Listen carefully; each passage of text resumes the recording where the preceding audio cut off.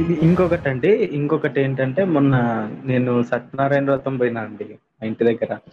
జరుగుతుంటే మా అమ్మ వాళ్ళు పోతుంటే రమ్మంటే ఊరికే ఎంట పోయినా. అక్కడ మొత్తం పూజ అంతా అయిపోయినాక కథలు అయితే కన్ఫర్మ్ వినాలా ఖచ్చితంగా విన కథలు వింటే చాలు పూజ చేసినంత ఫలితం వస్తది అని చెప్పి ఏం కథలు చెప్తారు అని వింటే ఇట్స్ బ్లాక్ మెయిల్ ఎంత క్లియర్ బ్లాక్ మెయిల్ అంటే కథ చెప్తున్నాడు. ఎవరో ఒకరు ప్రసాదం తీసుకోలేదంట. ప్రసాదం తీసుకోకుండా ఆహ్, వెళ్ళిపోయినారంట. సత్యనారాయణ వ్రతం ఎక్కడో చేసింటే దేవునికి కోపం వచ్చిందంట. వాళ్ళందరిని వాళ్ళ. లిటరల్! చంపేయడం కాదు. అంటే మొత్తం వాళ్ళు డబ్బులన్నీ పోయి, పిల్లలంతా పోయి, వాళ్ళు అడుక్కునే పరిస్థితికొచ్చిందంట. మళ్ళీ వాళ్ళు సత్యనారాయణ వ్రతం చేసినారంట. మళ్ళీ వాళ్ళకి అన్నీ రివర్స్ తిరిగొచ్చేసినాయంట అని చెప్తున్నారు. 2, 3 కథలు చెప్తారండి ఇట్లా. మామూలు ఎవరైనా వాడు నెక్స్ట్ వ్యాపారం కోసం అండి. సింపుల్. ఇప్పుడు ఇక్కడ కథకు వచ్చారు కదా! కథకు పాతిక మంది వచ్చారు ఆ కథ విన్న తర్వాత ఆ కథని మళ్ళీ ఇంకొకళ్ళు చేయించుకుందాము అని అనుకోవాలి. అనుకుంటే వీటికి దక్షిణ వస్తుంది దక్షిణ కోసమే ఇదంతా పూర్తిగా దక్షిణ కోసమే డబ్బులు చేసుకో ఊర కూర్చుని సొల్లు కబుర్లు చెప్పి డబ్బులు అడుక్కోవటానికి తయారు చేసుకున్న మతమే ఇదండి. వ్రతాలు మొత్తం అన్నీ కూడా ప్రతి ఒక్క వ్రతం కూడా వాడి సంభావన దొబ్బటానికి తయారు చేసుకున్న ఒక సొల్లు కథ తప్ప దానికి ఎటువంటి ప్రామాణికత లేదు. ఇంకొకటండి. ఓకేనండి. ఆహ్, మీరు ఎడ్యు ఎడ్యుకేషన్ సిస్టమ్ చెప్పినారు గదా! ఇప్పుడు మీ ప్రకారం ఒక ఐడియల్ ఎడ్యుకేషన్ సిస్టమ్ ఎట్లుండాలనుకుంటున్నారు? మామూలు జనరల్. ప్రాక్టికల్ బేస్డ్ అండి. ఇప్పుడు మనం ఏ ఒక్క ఎడ్యుకేషన్ సిస్టమ్‌ని ఇగో ఇది ఇది ఇలా ఉండాలి అని నేను అన్నాననుకోండి that will become my opinion. Right? ఇప్పుడు ప్రపంచ దేశాలన్నీ కూడా అందరూ మనుషులే ఉన్నారు. అన్ని గవర్నమెంట్‌లే ఉన్నాయి. ఏ ఏ గవర్నమెంట్‌లు ఎలాంటి ఎడ్యుకేషన్ సిస్టమ్‌ని వాడారు? ఓకే. ఏ ఏ దేశాలు బాగా డెవలప్ అవుతున్నాయి? ఏ ఏ దేశాల్లో స్టూడెంట్స్ బాగా రాణిస్తున్నారు? ఎలాంటి ఎడ్యుకేషన్ సిస్టమ్ ఉంటే పిల్లలు బాగా షార్ప్‌గా తయారవుతున్నారు అనేది ఒక సర్వే నిర్వహించవచ్చండి అది సంవత్సరం బట్టినా, 2 ఏళ్ళు సర్వే నిర్వహించవచ్చు ఓకే. ప్లస్ ఇలాంటి సర్వేలు ఆల్రెడీ ప్రపంచ దేశాల్లో చాలామంది చేసుకున్నారు. ఓకే. స్కాండినేవియన్ ఎడ్యుకేషన్ సిస్టమ్ కాస్త బెటర్ అని అందులో అందులో ఫిన్లాండ్ ఎడ్యుకేషన్ సిస్టమ్ అన్నిటికంటే బెటర్ అని సర్వేల్లో కన్సిస్టెంట్‌గా వస్తుంది గత కొన్ని సంవత్సరాలుగా. మన ఇండియన్స్‌కి అది నచ్చలేదనుకోండి, ఏహా ఇంకో దేశం సంగతి మనకెందుకు అన్నారనుకోండి, పోయి సొంతంగా సర్వే నిర్వహించుకోవచ్చు. ప్రపంచ దేశాలన్నింటిలోనే మన అంబాసిడర్లు ఉన్నారు మనకు కావాల్సిన వాళ్ళు ఉన్నారు మనకు చేసిన వాళ్ళు అన్ ఒక ఒక ఐఐటికో ఐఐఎంకో ఒక ప్రాజెక్ట్ ఇచ్చి తెలుసుకురమ్మంటే ఒక కొన్ని దేశాలకు పోయి వాళ్ళ ఎడ్యుకేషన్ సిస్టమ్ మీద సమగ్రమైన రిపోర్ట్ ఇమ్మంటే ఇస్తారు. రైట్? ఇలాంటి పనులు చేయరు. ఇలాంటివి చేస్తే ఇంకోళ్ళ దగ్గర నుంచి మనం నేర్చుకోవడం ఏంటి? వాళ్ళ టెక్నాలజీ కావాలి. వాళ్ళ దగ్గర నుంచి ఉద్యోగాలు కావాలి. వాళ్ళ దగ్గర నుంచి కంపెనీలు కావాలి. వాళ్ళ దగ్గర ఊడిగం చేయటానికి వాళ్ళని ఇక్కడ నుంచి పంపించాలి. అన్నీ చేయాలి కానీ వాళ్ళ దగ్గర నుంచి మాత్రం మనం ఏం నేర్చుకోం. ఏమన్నంటే విశ్వగురువు. అదే ఈ దేశం అంటే నేషనలిజం అనేది మత ఈ మత పిచ్చిలాగా ఈ దేశ పిచ్చ కూడా అలా నెత్తికెక్కితే అలాగే ఉంటుంది అందరూ మనుషులే. అందరూ చదువుకునేది అందరి చోట్ల పిల్లలున్నారు. అందరూ అలాగే పిల్లల్ని కంటున్నారు. సో, ఎడ్యుకేషన్ సిస్టమ్స్‌లో ఎలాంటివి చెప్పాలి? ఏది తీసేయాలి? ఏది ఎడ్యుకేషన్‌లో ఉంచకూడదు? ప్రపంచం అంతా ఏంటి డెవలప్డ్ సొసైటీస్‌లో అన్నిట్లో తెలుసుకుందేంటంటే, బిలీఫ్ బేస్డ్ సిస్టమ్స్ ఏది కూడా ఎడ్యుకేషన్‌లో ఉండకూడదు. ఎవిడెన్స్ బేస్డ్ సిస్టమ్స్ ఉండాలి. బిలీఫ్ బేస్డ్ సిస్టమ్ అంటే మతం. మతం దాని అనుబంధమైన సర్కస్ ఇవన్నమాట. ఎవిడెన్స్ బేస్డ్ సిస్టమ్ అంటే సైన్స్ అండ్ సైన్స్ ఆధారితమైన టెక్నాలజీస్. ఎవిడెన్స్ బేస్డ్ ఎందుకు ఇంపార్టెంట్ అంటే, ఎవిడెన్స్ ఉంటే కొత్త ఎవిడెన్స్ తీసుకొచ్చి, కొత్త ఎవిడెన్స్ ద్వారా ఇంకా ఎం టెక్నాలజీని ఇంప్రూవ్ చేసే అవకాశం ఉంటుంది. బిలీఫ్ బేస్డ్ సిస్టమ్ అనుకోండి, కొత్త ఎవిడెన్స్‌లు కొత్తగా ఏం ఇంకేం ఉండవు. మూసుకున్నాడు చెప్పింది రాసింది చదవటం ఎంత there is nothing called new in faith based systems.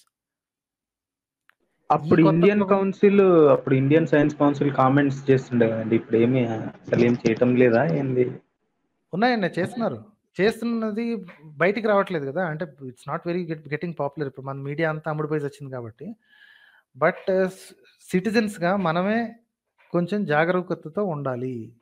Government చేతిలో పెట్టి కూర్చుంటే అడుక్కు తింటాం.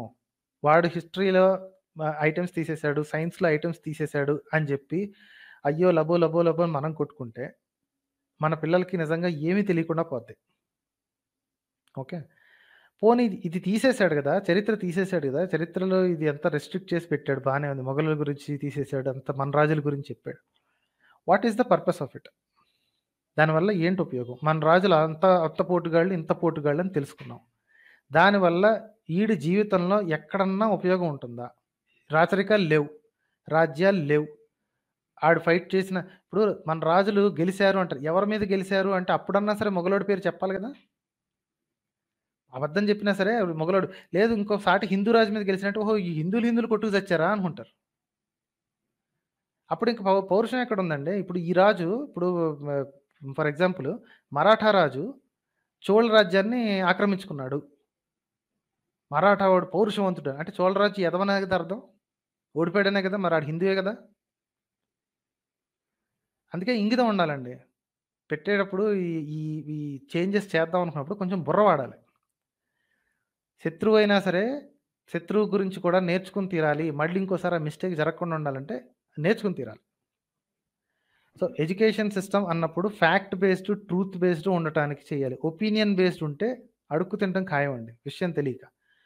అయితే చైనా దీనికి కొంచెం వ్యతిరేకంగా ఉంటుంది. చైనాలో హిస్టరీని బాగా కంట్రోల్ చేస్తారు.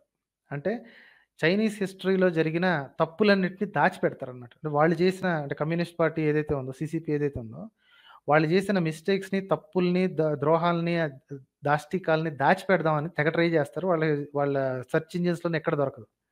అయితే చరిత్రను దాచిపెట్టాడు కదా కానీ సైన్స్ని దాచిపెట్టలేదు అన్నాడు సైన్స్ని విపరీతంగా ప్రమోట్ చేశాడు. గత ముప్పై ఏళ్ళుగా వాడు చేసింది అదే.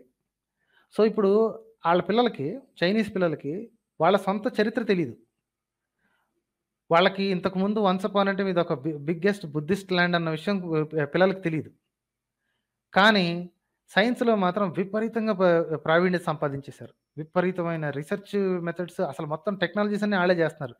అమెరికా యూరోప్ నోట్ నోట్ మీద వేలేసుకుని చూస్తుంది. అందులో సగం పాపులేషన్ అనేది అంటే ప్లస్ చేస్తుందా మైనస్ చేస్తారా అండి? హై ఎక్కువ నెంబర్ ఆఫ్ పాపులేషన్ ఇప్పుడు ఇండియా ఫస్ట్ ప్లేస్ కదా. అంటే Stable. అవుతుందా? స్టేబుల్ స్టేబుల్ స్టేబుల్గా ఉంటేనే పనిచేస్తాండి పెరగకూడదు తగ్గకూడదు. స్టేబుల్గా ఉండాలి. You have to replace. ఇప్పుడు ఈ క్షణం నుంచి ఆ, పుట్టుకలను తగ్గించేద్దాం అనుకుంటే ముసలి పాపులేషన్ ఎక్కువైపోద్ది. ఓకే? ఎల్డర్లీ పాపులేషన్ ఎక్కువైపోతే వాళ్ళని ఎలాగా హ్యాండిల్ చేయాలి? బికాస్ ఎల్డర్లీ పాపులేషన్ వాళ్ళని కష్టపెట్టి ఇప్పుడు ఉద్యోగం చేయించి వాళ్ళ చేత ట్యాక్సులు కట్టించలేం. But they need care. Right? మనం మ- మన ధర్మశాస్త్రం పాటించట్లేదు కదా? మనకి కాన్స్టిట్యూషన్ నడిచింది కాబట్టి we have to take care of our own people. కుర్ర కుర్రవాళ్ళు తక్కువైపోతే ట్యాక్స్ ప్రకారంగా దే దేశంలోకి ఎకానమీలోకి డబ్బుల్ని పంపు చేసేవాళ్ళు తక్కువైపోతారు. సో కాబట్టి you cannot restrict the birth rate right now. Restrict అంటే కొంచెం కంట్రోల్ చేసుకోవచ్చు. స్టేబుల్ అట్లీస్ట్ చనిపోయే వాళ్ళని రీప్లేస్ చేస్తే చాలు. అంటే మనల్ని మనం రీప్లేస్ చేసుకుంటే చాలు. సో ఒక కపుల్కి ఇద్దరు పిల్లలు ఉంటే సరిపోద్దండి. సో పాపులేషన్ ప్లస్ లేదు మైనస్ లేదు. ఇప్పుడు అన్నిటికంటే బాగా తక్కువ పాపులేషన్ ఉన్న దేశాలు ఉన్నాయి. విప- విపరీతంగా టెక్నాలజికల్లీ అడ్వాన్స్డ్ దేశాలుగా ఉన్నాయి. విపరీతమైన పాపులేషన్ ఉన్న మన దేశం ఉంది. మన దేశం మన కష్టాలు మన మనం పడుతూనే ఉన్నాం. బంగ్లాదేశ్ ఉంది. బంగ్లాదేశ్లో భారీ పాపులేషన్ అంటే పర్ ఇట్స్ సైజ్ రైట్ వాళ్ళు ఇప్పుడు కంట్రోల్ చేసుకుంటున్నారు. ఇప్పుడు స్టేబుల్ బర్త్ రేట్కి తీసుకురావడానికి ప్రయత్నిస్తున్నారు గత పదిహేను ఏళ్ళుగా. అంటే విన్నాను ఇది చైనా మళ్ళీ పాపులేషన్ తగ్గుతుందని పెంచడానికి ఏమన్నా ఏమో పారామీటర్స్ వాళ్ళు అదే వాళ్ళు అదే ప్రాబ్లంలో ఇరుక్కున్నారండి ఇప్పుడు. వాళ్ళకి ఎల్డర్లీ పాపులేషన్ పెరిగిపోయింది కుర్రోళ్ళు తగ్గిపోయారు. సో ది ఇప్పుడు మరి అంటే పెన్షన్ తీసుకునే వాళ్ళు లేదా హెల్త్ కేర్ ఎక్కువ కావాల్సిన వాళ్ళు ఎక్కువైపోయారు. దానికి తగ్గ ట్యాక్స్లు తిరిగి రావట్లేదు. ఎందుకంటే యంగ్ పీపుల్ తగ్గు తగ్గి ఉన్నారు కదా. సో ఇప్పుడు తగ్గించడానికి ప్రయత్నించడానికి విపరీతంగా ట్రై చేయడం కంటే స్టెబిలిటీ కోసం ప్రయత్నిస్తే చాలండి. ఓకే ఓకేనండి? Thank you. రైట్ సార్ అయితే. థ్యాంక్స్ అండి.